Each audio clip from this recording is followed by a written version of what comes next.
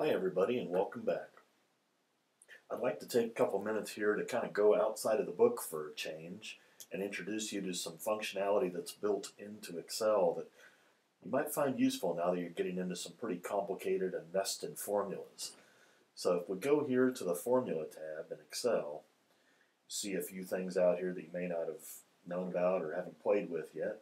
But we're going to walk you through these to give you a, maybe a step up in understanding how your complex formulas are working or why they're not working. So every time I write a big long formula that isn't giving me the result that I want, I'll come in here and, and uh, evaluate the formula that I'm looking at. So just for an example, let's start off with something simple. So we have a cell here that I'm adding three things together, 3 plus 4 plus 5. So if I want to come over here and say, hey, evaluate that formula, I'm doing this just to give you an example, show you how Excel thinks and how it operates in the order that it operates in. So right now it says, okay, I'm going to add 3 plus 4, because you can tell that because it's underlined. So I'm going to evaluate that. So it evaluates that to 7. Now the next thing that's underlined is what it's going to evaluate next. 7 plus 5 is 12. And then I can just restart that and it does the same thing over again. Like, okay, that's fine. Got that figured out. I'm adding three things together. That works. But let's uh, give you another example. I've got an example here, something similar to your first uh, assignment. So I have an item that has a cost of a thousand, and then I have a markup which is uh, 22%. So just kind of thinking about that, if I have a cost and I mark it up 22%, what's the amount of that? Uh, I don't know, $1,220, something like that maybe. And then I have to add a tax rate onto that of 7.5%. And then I need to come up with a, for, a formula that adds the, ta- the taxes onto the cost of the widget. And I've got here a formula that says it's $91.50. Well, that doesn't make any sense. That's not right. So I've got a formula here that takes the price, takes the markup, adds 1 to it, and then multiplies that by the tax rate. Well, if I'm not, if I can't just see the error in that, I want to see what Excel is doing one step at a time. Hit escape, get back out to it. Now come here and check the formula. I want to evaluate the formula. All right, so here, the first part of the formula is A3. So I'm going to step in and say, okay, go grab the value for cell A3. All right, it's a thousand bucks. Then I step out. So put that thousand in here. So now a thousand times one plus A4. All right, well, what is A4? Step into it, go get the value. Okay, it's 22%. So now 1 plus 0.22, evaluate that. It's 1.22, so 1,000 times 1.22, evaluate that, is $1,220 times whatever is in A5, 7.5%. So now I step out. So now it's like, oh, it's taking that 1220 and multiplying it by the tax rate. So if I hit evaluate, so what I'm doing instead of calculating the sell price of the widget, I'm just calculating the taxes itself on the widget. So I want to find out, I need to change that formula where I'm taking the A5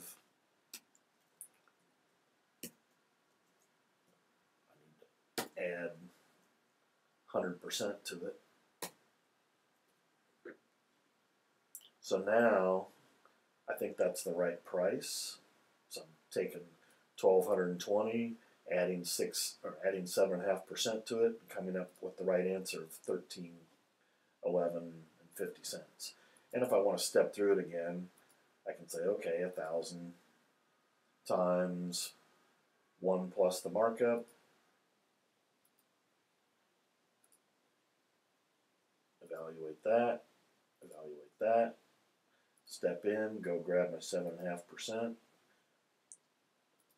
So 1220 times 1.075, evaluate that, comes up with the right answer. All right, that's another example. I'll do one more example here.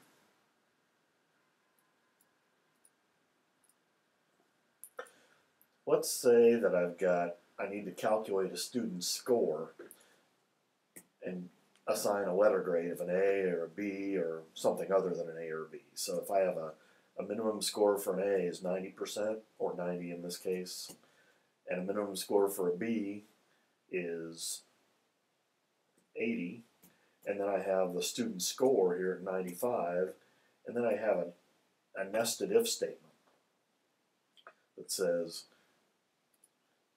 if 95 is greater than 90, 95 is greater than 90, you earned an A. Okay, that makes sense. Then if 95 is less than or equal to A11, which is 80, you earned a B. And if it's not either of those, then it's none of the above, right?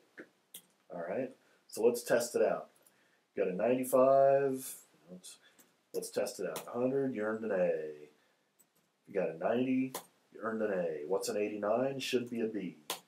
Oop, none of the above, so we got something wrong. 85, 80. Oh, 80's right, but 80, anything between 80 and 90 is wrong. Okay, what's 75? 50 should come out to something other than a B. So we have an error here in the problem. Now one thing I want to show you while I'm here that's kind of cool, you can trace the precedents within a cell. So the way that I've been doing it all semester is clicking in the formula and it kind of shows you that these three cells are highlighted, so these three cells are part of the formula.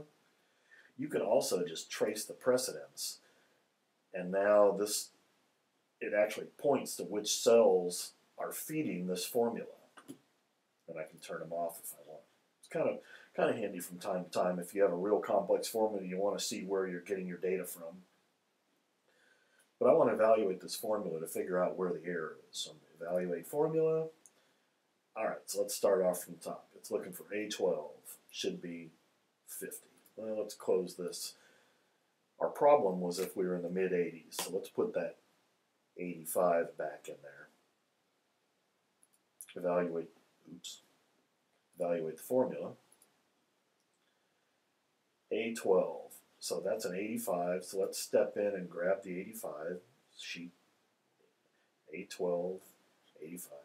Step out. So is 85 greater than or equal to 90? Is 85 greater than or equal to 90? I would say false. Sure enough, that's false. So it's going to skip over this because that's what is returned if it's true. So it's going to bop down here to A12 and step in. It's like, okay, is 85 less than or equal to A11? I'm thinking this is a B, so I want it this to be true. Is 85 less than or equal to 80? Evaluate it, it's false. Oh crap. So if that's false, it's not going to go there, it's going to go to here and do none of the above. So I found my problem, it's in that statement, in that logic statement right there. So I'm going to come back here and say, oh, yeah, if A12 is supposed to be greater than A11, change that. Now I can test it out. Let's see here. So let's test it out again. So let's do like 95, that's an A, 90, is an A, 89 is a B, I don't know, 81, 80, still a B. Okay, anything less than 80 should be none of the above. Even if I do 79.999999, still it's less than 80. So my logic works now. So this is a very simple and kind of cool way to evaluate your complex formulas.